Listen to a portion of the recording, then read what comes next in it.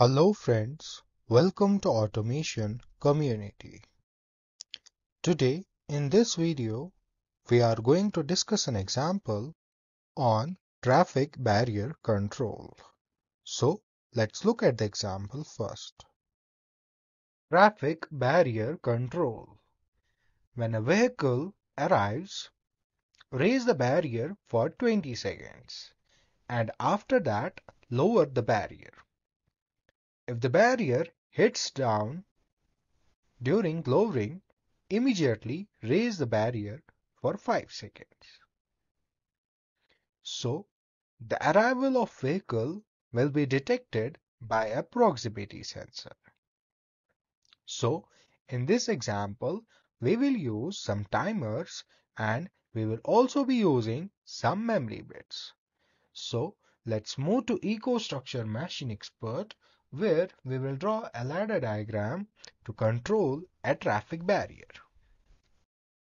I will open EcoStruxure Machine Expert Basic.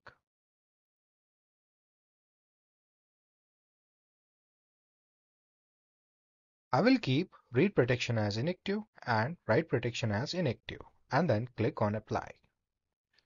Then I will go to configuration tab so here is a list of different logic controllers. I will select TM221. I will click on it and drag it here.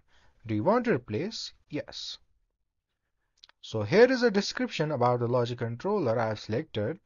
Then I can also go to serial line where I can select protocol as TMS2GDB and then click on apply. Then I will go to programming tab. So here I will be drawing ladder diagram to control a traffic barrier. So I will click on this option for a full screen mode and then zoom into it like this. So firstly, I will insert a normally open contact and then a coil. So I will assign address to the contact as i 0.0. I will also add symbol to it as proximity sensor that will detect the arrival of car. Then I will assign address to the coil as M0, which is a memory bit. And then I will add a new rung here and then I will insert one more normally open contact and then a coil. And I will assign address to this contact as M0 and I will assign address to the coil as M1. Then I will insert a timer here for M1 and that should be TP. And I will change time base to 1 second and preset value as 20 and then click on apply. Then I will add a new rung here and then I will insert a normally open contact and then a timer and then one more normally open contact and then one more timer and then a coil. I will assign address to the coil as M 0 and I will change the type of timer to T on and I will change time base to 1 second and preset value as 20 and then click on apply. Then I will assign address to this normally open contact same as proximity sensor that is I 0.0 and then I will change the type to TP and time base to 1 second and preset value as 5 and then click on apply. Then I will assign address to the coil as M2.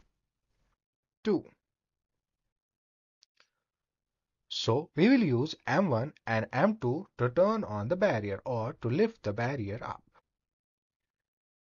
So in the first case, M1 will be used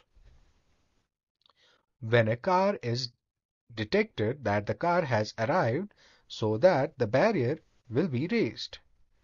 And then when the barrier is lowering, then if it detects the car, then M2 will be activated and M2 will activate the barrier and it will raise the barrier again.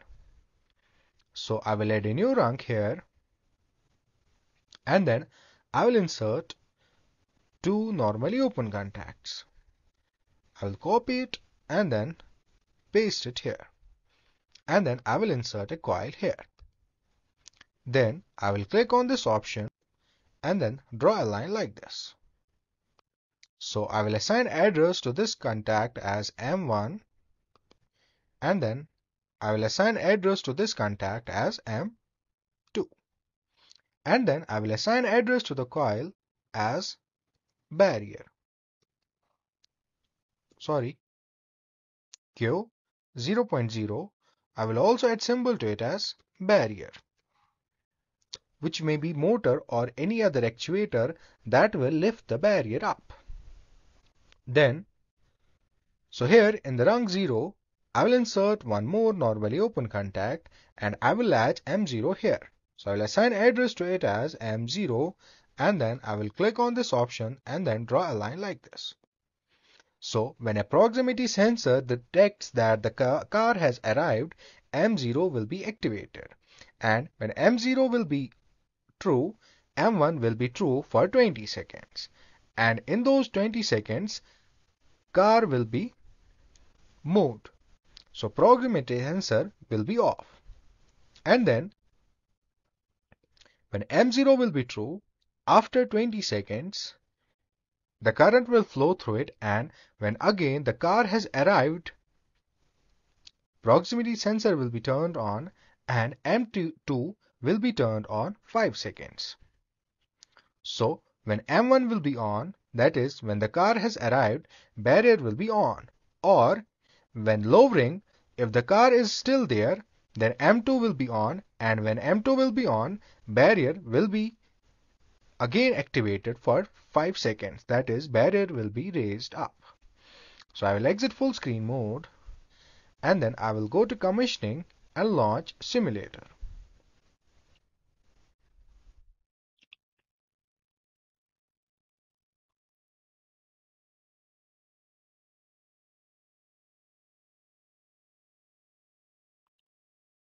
Then I will start controller. To do so, click OK. So I will go to programming and click on full screen mode. So when car has arrived, the proximity sensor will be turned on and the car will leave and barrier will be turned on for 10 seconds. Sorry, 20 seconds. And after that, barrier will be lowered. That is, barrel will be turned off. Thank you for watching.